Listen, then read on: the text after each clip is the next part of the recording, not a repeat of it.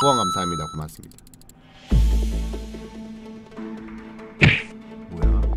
뭐야? 누워 있다고 괘씸죄로 지금 더 밀어버린 거야 그러면은?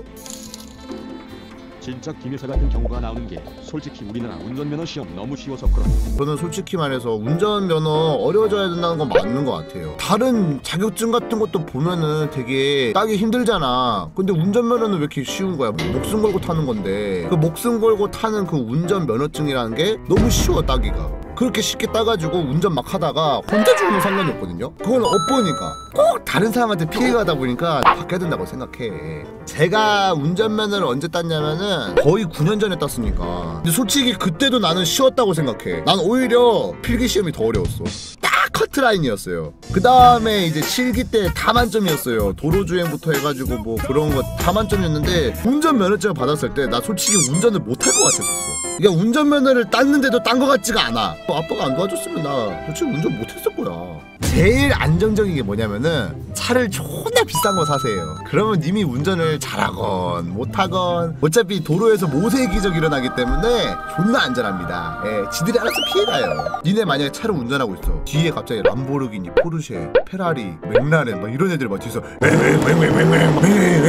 이러고 있어. 안 비켜줄 거야? 아이고 어서 가십시오 하면서 내가 비켜줘야지. 그리고 오히려 그런 차 끌고 다니는 애들이 은근히 또 착해. 옛날에 차를 처음 뽑았을 때 일주일 만에 사고가 났어요. 그때 당시엔 걸프렌드가 있었어요. 근데 이제 여행을 갔던 적이 있었어. 그때 엑센트였거든요. 주차를 했어요. 주차를 완료를 하고 내리려고 했는데 걸프렌드가 갑자기 어어 이러는 거야. 그래서 뭐지 하면서 다 봤어. 그 조수석 쪽을. 근데 차가 계속 막 빠꾸를 해서 와 서서히. 어어 저차 왜 이렇게 자꾸 와? 어, 부딪힐 것 같은데 막 이러는 거야. 진짜 막 계속 오는 거야. 결국에는 콩 하고 박았어요. 왜 박았는지 아직도 모르겠어. 내가 그때 분명 빵빵 했거든요. 근데 그때 든 생각이 뭐냐면 존나 빡쳤어. 진짜 차를 뽑았는데 일주일도 안 돼서 내 차가 사고가 난 거야. 정신 나가는 거야 그냥. 거기서 그 이제 내려가지고 딱 봤는데 할아버지신 거야. 그또 존중하게 말씀드렸죠.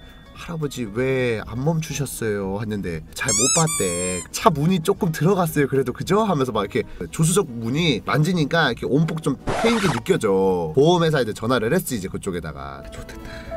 이거 어떡하지 어떡하지 막 이러고 있었어. 할아버지가 자기 아들한테 전화를 해야겠대. 보험을 잘 모르니까 아들한테 하겠다 해가지고 한 10분인가 15분 정도 기다렸나? BMW 막 들어오는 거야. 와 저 좋은 차를 끌고 다니네 하고 막 있었는데 차가 내 뒤에 쓰더니만 갑자기 내리고 나한테 와. 그래서 저 사람이 왜 나한테 왜 오지 했는데 그 아들인 거야. 3, 40대 정도 아주 중년 아저씨가 갑자기 나한테 오면 아 죄송합니다 막 이러면서 오시는 거야. 오?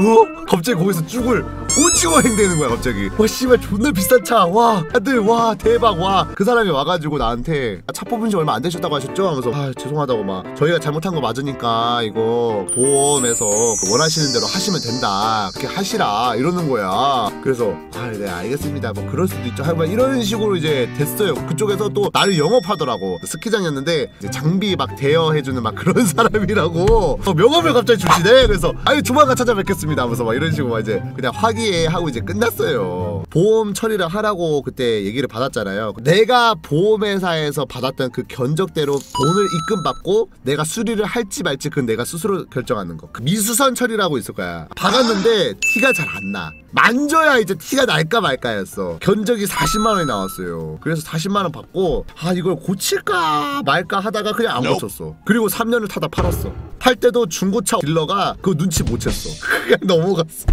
꼭 개꿀 그리고 님들 그러지 않습니까? 새 차 뽑으면 얘들아 차에다가 이름 붙여주지 않습니까? 나 차에다가 이름 붙여줬었거든 오늘도 잘 부탁한다 하면서 막 예를 들어 우리 봉봉이 막 이러면서 막 내 차 이름은 의닝인데 진짜로 익명이라고? 차 이름을 막 붙여가지고 막 되게 애지중지하면서 막 그런 게 있었거든요. 과족방지 타고 얘들아 시계 넘어갔을 때 어유 우리 내 새끼 내 새끼 어유 내 새끼 아팠지? 어유 미안해. 아빠가 다음에는 좀 천천히 운전할게. 막 이러면서 혼잣말 하고 씨발 차 안에서. 과몰입 시계 했어요 진짜